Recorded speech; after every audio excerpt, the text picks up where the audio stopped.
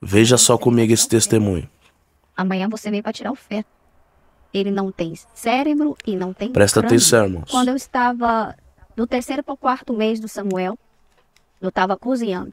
Na hora que eu estava cozinhando, o Senhor falou para mim: prepara os documentos, é hora de partir. Olha Deus. Irmão, na hora que ele falou isso, sabe quando você leva um choque assim? Eu parei e falei: Senhor, como é hora de partir, pai? Tô grávida, né? Eu tô grávida, minha família tá aqui, eu vou pra um lugar que eu não falo nem inglês, eu não conheço ninguém lá. E o Senhor falou mais forte: prepara os documentos, é hora de partir. Antes de eu ir, eu fiz a última ultrassom com os nossos médicos da família. Fez o parto da minha mãe, era um médico senhorzinho, a filha dele também era, então acompanhou assim, o doutor João e da família, o médico ali e tudo. Não, tá perfeito, seu bem. Pode ir, só precisa saber se é menina ou menino quando chegar lá. Falei, tá bom. Viemos para os Estados Unidos. Começou a fazer ultrassom. O Espírito Santo fala comigo.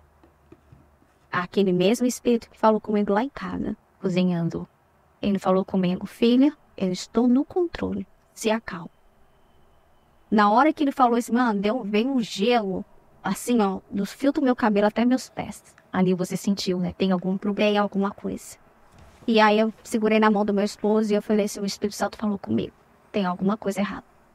Aí meu esposo falou, não, não tem não. Eu falei, tem. Que ele não me deixa enganar. Tem. Aí a enfermeira passando, passando, foi uns 30 minutos e ela fazendo esse sinal de não, não, não, não, não. Chamou a médica. A, a médica responsável pela clínica. A médica olhou, olhou, olhou, olhou, olhou. E aí ela foi e falou assim, então, amanhã você vem pra tirar o feto. Nem me chamou de filho, falou feto. Aí meu esposo já deu um pulo, falei, não, tá perfeito, meu filho, eu acabei de chegar do Brasil, tem duas semanas, eu só vim pra saber se é menino ou menino. Como assim eu vou tirar um feto? É o meu filho.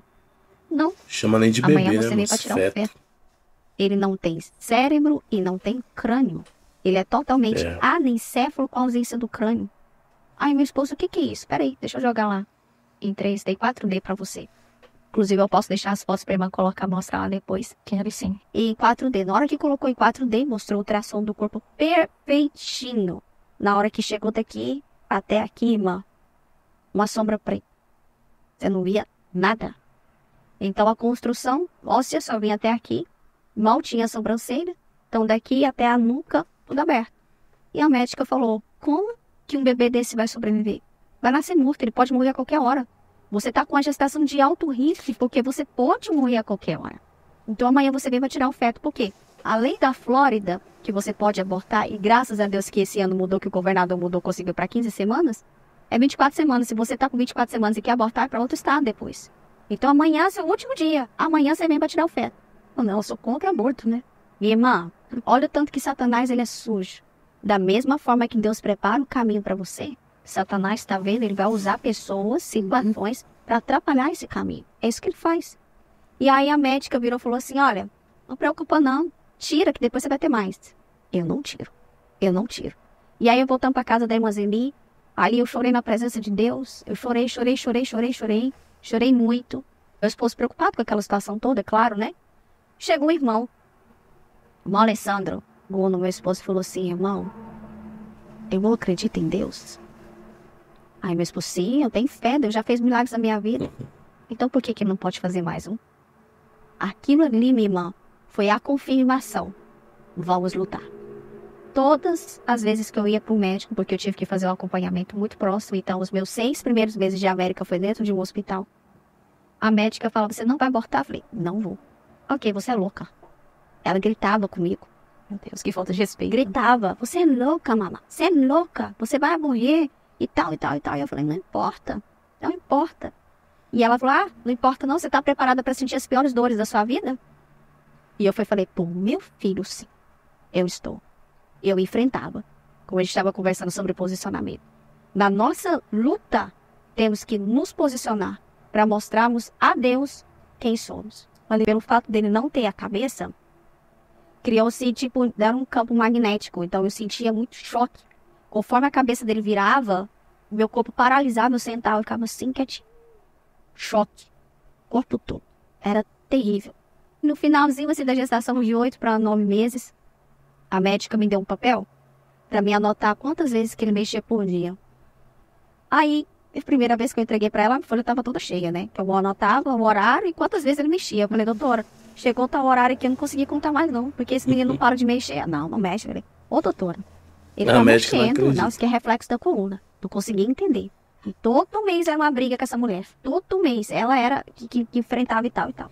E no nono mês, eles me encaminharam para um hospital. Melhor médico do mundo, que é um indiano especialista em crianças que nascem com a anormalidade. Uhum. Ele que faz os partos. Só que ele que diz se vai fazer ou não. Ele que diz se quer fazer ou não. Uma semana antes do Samuel nascer, eu fui até ele, porque me direcionaram para ele. Ele olhou minha ficha, olhou os exames e falou assim: então, procura outro médico, eu não vou fazer seu parto. Eu falei: tá, e como é que eu vou procurar outro médico? Não sei se vira. Não vou fazer seu parto, porque eu não quero ter no meu histórico uma mãe que vai morrer e um filho que já vai nascer morto. Então, não quero. Olhei pro alto e falei: Senhor, tá falando que não quer fazer meu parto? Não, então prepara um, Senhor. Que é, que é assim. Então, o Senhor vai preparar tudo. Se eu permitir eu vir, o Senhor vai preparar. No dia que eu fui dar entrada no hospital, a médica que sempre falou pra mim abortar, me chamou de louca, falou que o neném não mexia. Falou, eu vou fazer o último exame de você antes de você ir pro hospital. Eu falei, tá bom. Cheguei nas 39 semanas, irmã, direitinho. Deus me fez segurar direitinho, assim. Aí ela pôs a mão na minha barriga pra fazer o exame. Samuel chutou na mão dela. Na hora que ela sentiu que ele chutou, ela fez assim. Que que é isso? Aí meu esposo, né, que é zoado, ele falou assim, adivinha? ela falou, não, ele não chutou. Aí eu falei pra ela, ele chuta, eu falei que ele chuta, ele chuta muito. Aí ela já ficou aquele negócio na cabeça. É impossível que esse menino tá chutando, não tem condição. Me levaram pro hospital. Aqui nos Estados Unidos, eles não, eles não fazem de imediato uma cesárea. É, não, eles tentam até o último, né? Até o último, assim, um parto normal. Minha irmã, eu fiquei três dias sem comer, só chupando gelo, pra ver se eu entrava em trabalho de parto. Mas estourou minha bolsa. No que estourou minha bolsa, minha irmã, eu tive convulsão. Início de pré-eclâmpsia. Uhum. Minha irmã, eu nunca vi tanta gente na minha vida. E eu só olhava pro meu esposo e falei assim, agora eu vou. Era tanta dor, mano. Era tanta dor que eu não... A, a dor é tão forte que você chega ao ponto que você não sente mais no seu corpo.